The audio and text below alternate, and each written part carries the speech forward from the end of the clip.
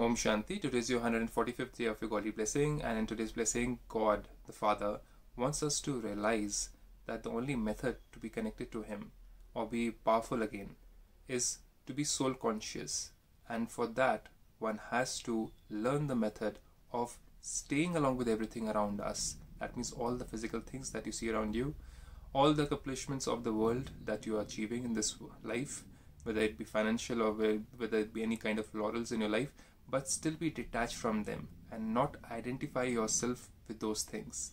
So let's see what Baba wants us to do and how he wants us to surrender those weaknesses within us.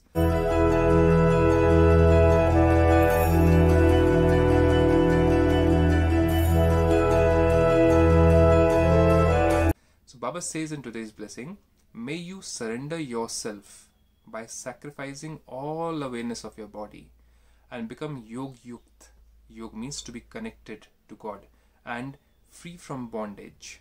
So, what kind of sacrifice does He wants us to do? He says, Be in this world, be with your family, be with everything around you, earn, eat, sleep, wear clothes, do everything, but be totally detached from identifying yourself with those things around you or having any kind of ego with those things around you.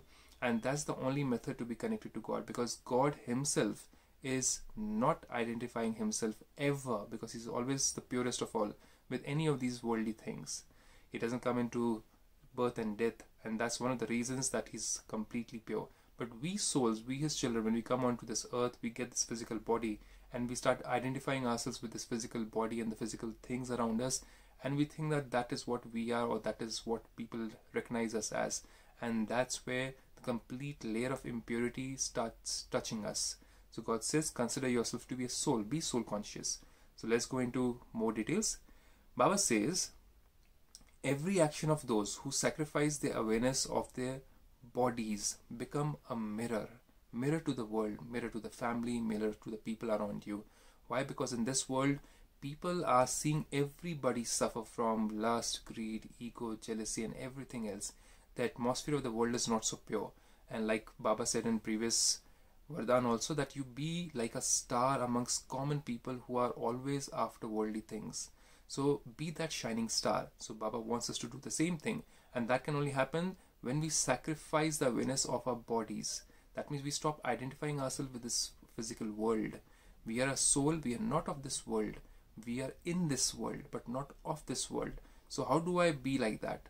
Like being in a hotel, but not owning the hotel. That's what you do. So you use the things, but you don't identify yourself with the things in that hotel room. You don't say this is mine or that is mine. Similarly, over here, these things are not mine.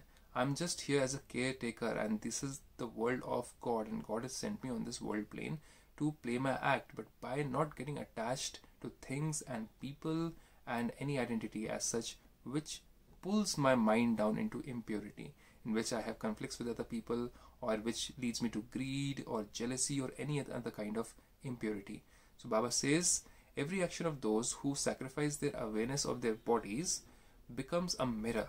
When something is sacrificed, that thing is then no longer considered to be yours. So once we sacrifice body consciousness, if we keep on taking it back, we get body conscious, we get soul conscious. If we keep on fluctuating between these two things, then our power will be reduced. Even though this is the journey in which one goes through this journey, but the focus should be on removing complete body consciousness which we have attained through many births of practicing that we are a body.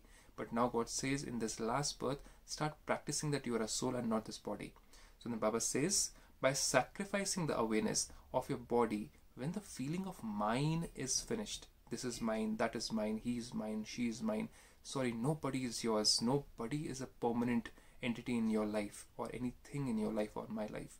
So that's what baba, baba says this is called total surrender. But when we forget this, then we surrender onto the weaknesses within us. Could be lust, anger, greed, ego, jealousy, hatred, and many other things. So God says this is the fight within you. Those who surrender themselves in this way remain constantly yog yukt.